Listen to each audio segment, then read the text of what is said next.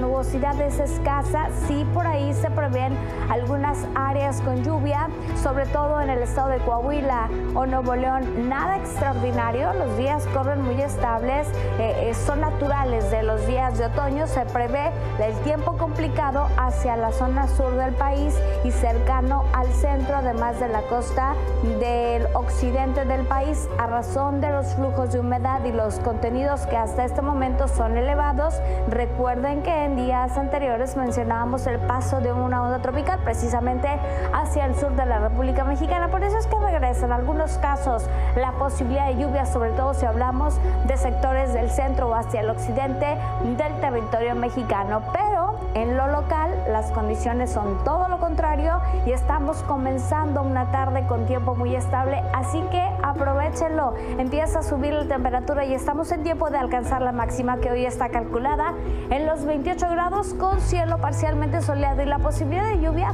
es muy débil. Estamos apuntando un 20% por si acaso ocurrieran algunos chubascos.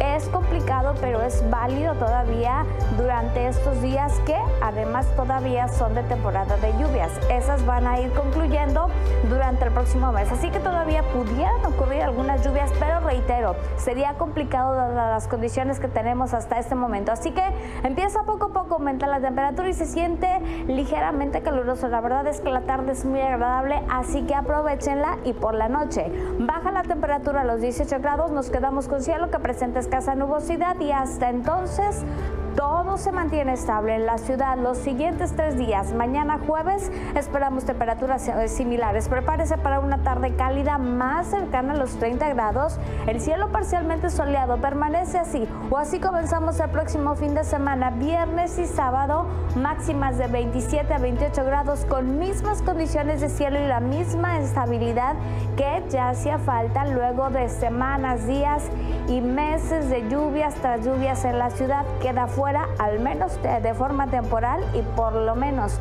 hasta el próximo sábado, que es la vigencia de este pronóstico. Por supuesto que hay que estar atentos a la información que le damos a conocer en telediarios y también en nuestras redes sociales. Vámonos hacia el norte.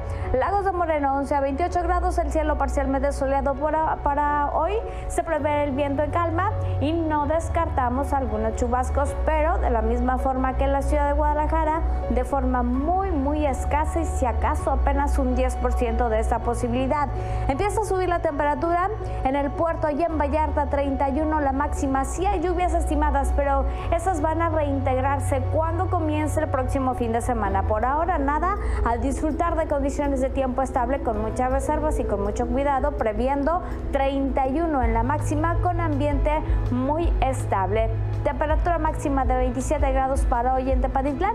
El cielo presenta eh, solo escasa nubosidad, el viento en calma y de momento no hablamos de lluvia, mientras que en la capital la situación es un tanto distinta porque hay más flujo de humedad y mayor posibilidad de algunos chubascos ocasionales, pero van hoy por la tarde, al menos se integran en los pronósticos de la localidad, allí en, la capital del país, mayormente nublado para hoy por la tarde, en Morelia, con algunos chubascos ocasionales. Hace calor en Cuernavaca, pero se combina con algunos chubascos y después de una mañana fría empieza a subir la temperatura temperatura también en la capital poblana, en donde además se esperan algunas lluvias, contrario a Querétaro, que igual que en Guadalajara, la temperatura sube a los 25 grados y damos paso a una tarde estable con cielo parcialmente soleado. Próximo fin de semana ponemos fin al, horario de verano y daremos comienzo al horario de invierno para que estén atentos a ese reporte que también les estaremos recordando durante los próximos días, semanas